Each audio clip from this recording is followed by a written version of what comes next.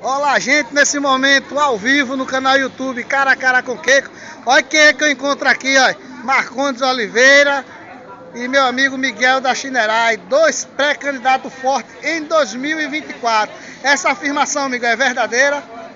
Sobre? Você é pré-candidato em 2024? Não, não, não, não. Não tenho pretensões ainda, ainda definidas. Mas o futuro a Deus proverá. Se eu tiver que apoiar alguém, apoiarei. Se o nosso grupo político disser que eu sou candidato, serei. Né? Minha liderança maior é o prefeito Tio Sandrade, junto com o André Graça, que eu sou do Partido Progressista, né? e meu futuro a eles pertence. Obrigado, Miguel. E aqui está Marcondes Oliveira, que é conhecido como Marcondes da Praia. Procede que você realmente está preparado para disputar a pré-candidatura em 2024? Boa tarde, Keiko. Boa, tarde. a todos os munícipes de Estância.